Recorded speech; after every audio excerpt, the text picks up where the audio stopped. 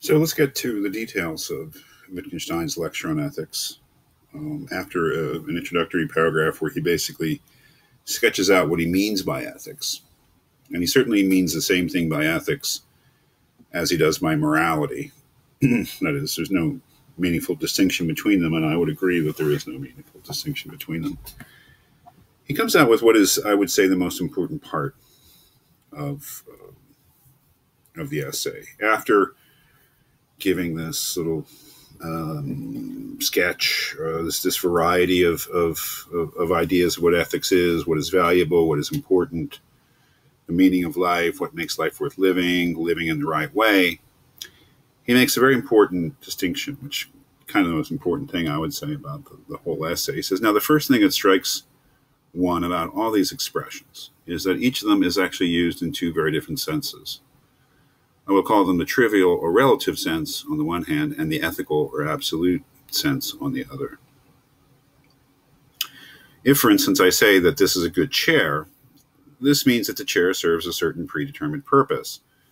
And the word good here has only meaning so far as this purpose has been previously fixed upon. And we sort of have a sort of a consensus about what makes a good chair. So if you say, well, it's a good chair, people know what you mean and it makes sense. Uh, in fact, the word good in the relative sense simply means coming up to a certain predetermined standard. Thus, when we say that this man is a good pianist, we mean that he can play pieces of a certain degree of difficulty with a certain degree of dexterity. And similarly, similarly, if I say that it is important for me not, not to catch cold, I mean that catching a cold produces certain describable disturbances in my life. And if I say if I say this is the right road, I mean it's a right road relative to a certain goal. So that's what he uh, means by uh, you know the relative uh, sense of using words like good and right and, and wrong. Um, you can say that something's a good chair or someone's a good president uh, or something like that.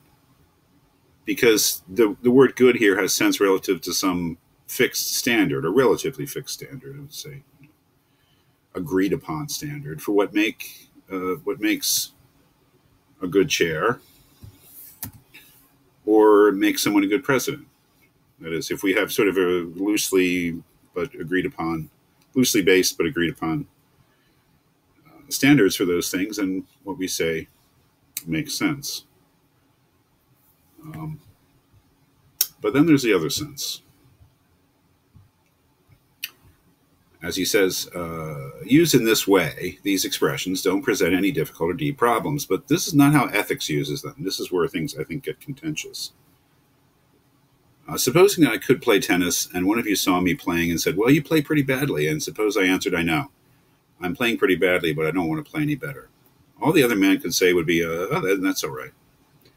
But suppose I told one of you a preposterous lie, and he came up to me and said, You're behaving like a beast. And then I were to say, I know I behaved badly, but then I don't want to behave any better.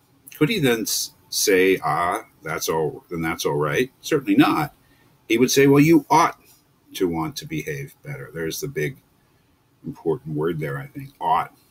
Here you have an absolute judgment of value, whereas the first instance was one of relative uh, judgment. Uh, so, again, we can ask ourselves why is it that Wittgenstein thinks that uh, relative judgments of value, what he calls relative judgments of value, uh, are perfectly sensible and make make perfect sense and are okay to use, but absolute judgments of value uh, are not. That is, they're nonsensical. Or, as I say here, why does he think that the first sense, the judgment of relative value, makes sense? And the second, the judgment of absolute value, does not make sense. Um, well, um, he then explains it. Uh, the essence of the difference, I'm right here. Excuse me, I'm right here. The essence of this difference seems to be obviously this. Every judgment of relative value is a mere statement of facts and can therefore be put in such a form that it loses all the appearance of a judgment of value. Instead of saying this is the right way to Grantchester, I could equally well have said this is the right way you have to go if you want to get to Grantchester in the shortest time. This man is a good runner simply means that he runs a certain number of miles in a certain number of minutes, etc.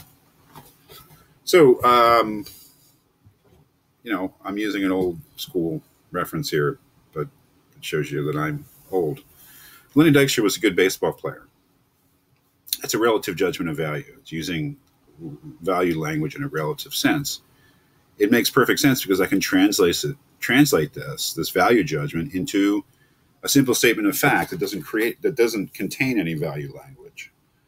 All I mean by that is he can hit field and run the bases. Let's say, oh, that he must be a good player. He's a 300 hitter. He doesn't make many errors, and he's a good base runner. Oh yeah, then he's a good baseball player. So, but I, the, the key is that I can translate this value judgment into a simple statement of facts.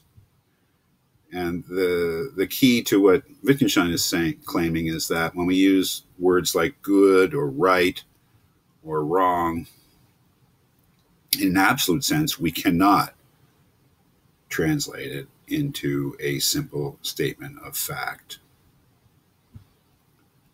Uh,